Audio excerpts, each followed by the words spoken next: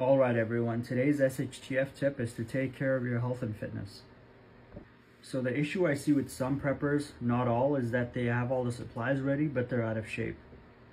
It's great to have all the supplies at home for a hunker down situation, but what if it's an evacuation situation and you have to grab your bug out bag and walk a few miles?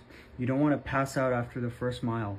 Another thing you need to consider is that in an emergency, there's a possibility that you may have an injured family member that you might have to carry.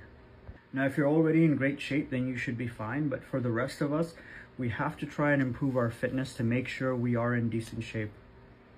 Now, I'm not saying you have to become a gym bro or a gym girl, count your calories, weigh your food, and carry a gallon jug of water everywhere you go. All I'm saying is that if you feel you are out of shape, try to eat healthier and improve your fitness a little bit.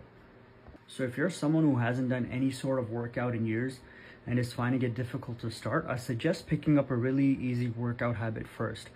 For example, go for a walk every day for just 5 minutes. But do it every day for at least 30 days. Just be consistent with it and slowly it'll become a habit and you can increase your workout duration as you see fit. Another thing you could do if you have a punching bag at home is just to practice a couple minutes a day hitting the bag. If you don't have one, get a canvas bag, fill it with sand and use that.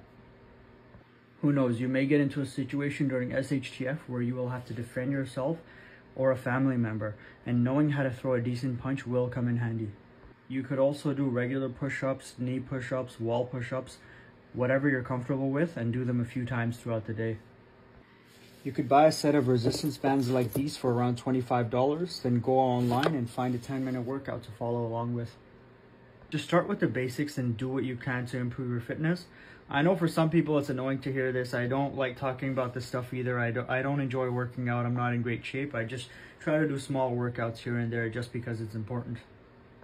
Overall, I think it's a good idea to evaluate your own fitness level and decide whether or not you need to improve it. Be honest with yourself. If you had to walk a few miles carrying your bug out bag, or if you had to drag a family member from a burning house, if you had to fight off an attacker to save your kids, would you be able to do it? If the answer is no, then work on improving your fitness.